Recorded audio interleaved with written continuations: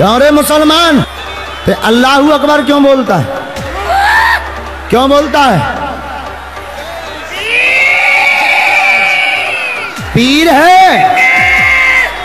अच्छा ते पीर तो हम महावीर। ये ढोंगी बाबा का वीडियो आपने देख लिया। ढोंगी बाबा, तुमको पैसा कितना मिला? ये जो एक्टिंग कर रही हो, तुम तो एक्टिंग बहुत अच्छा कर लेते हो। अगर तुम बॉलीवुड या हॉलीवुड में चांस ले लो तो जितने सारा खान है, आमिर खान, सलमान खान, शाहरुख खान, ये जितना सारा एक्टर है, सब लोगों को तुम पीछे छोड़ जाओगे। तो उधर अप्लाई क्यों नहीं करते हो? तुम तो नाटक बहुत अच्छे से कर लेते हो। और ये जो तुम कर रही हो, ये बहुत अच्छा बात नहीं है, ठीक है? इसको बंद करो। और जो तुमको सभी मालूम है, अतीत, वर्तमान पास्ट फ्यूचर सभी तो मालूम है। अगर सब कुछ तुमको मालूम है तो हमारे भारतवर्ष में एक एक्सीडेंट हुआ था। तुमको मालूम होगा शायद, क्योंकि तुम तो सभी जानते हो। तो उस एक्सीडेंट में बहुत सारा लोग बेगुनाह मारा गया। तो उसमें तुमको तो बोलना चाहिए था, जो उस ट्रेन में एक्सीडेंट हो सकता है तो तुम काम करो, उस ट्रेन में मत चढ़ो। तो तुमने ये क्यों नहीं बोला? तुम्हारे खिलाफ़ तो केस होना चाहिए। और जो हमारे इंडिया में जो टी ट्वेंटी हुआ है, जो विश्व कप हुआ है तो सभी हैरान पे हो गया, परेशान पे हो गया, क्योंकि हम लोग, हमको लग रहा था कि इस बार तो इंडिया हार जाएगा। तो तुम अगर पहले से बोल देते कि नहीं, इंडिया जीतेगा तो हम लोग तो पहले से ही खुशी मना लेते तो ये क्यों नहीं बोला?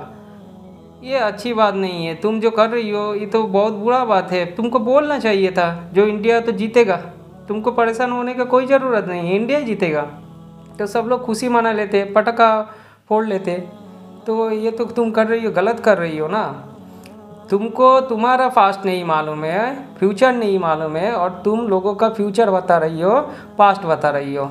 तुम्हारा एक मिनट बाद क्या होगा तुम्हारे साथ? तुम बता नहीं पाओगे और तुम लोगों का फ्यूचर बता रही हो। सुनो, एक बात मैं कान खुल के बोल रहा हूँ, कान खुल के सुन लो। तुम्हारे जैसा तुम्हारा बाप भी आएगा, दज्जाल, ठीक है? वो बहुत सारा फितना करेगा।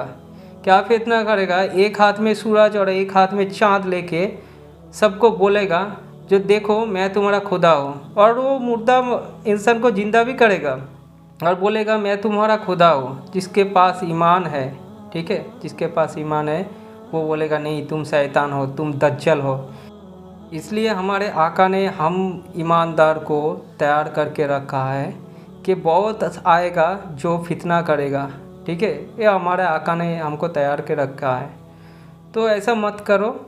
और ये जो कर रही हो, ये पीर वगैरह ये कर, ये छोड़ो। पहले तो तुम माफ़ी मांग चुके और दूसरी बार क्या, माफ़ी मांगोगे क्या?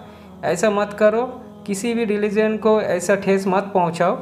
आपका रिलीजन आप पालन करो, कोई दिक्कत नहीं है। कोई मुसलमान तो नहीं बोल रहा है ना? लेकिन तुम क्या कर रही हो? मुसलमान के नाम लेके ये दुकान चला रही हो। कितने दिन दुकान चलेगा तुम्हारा? ये तो दुकान तो बंद होना है ना? तो ऐसा मत करो।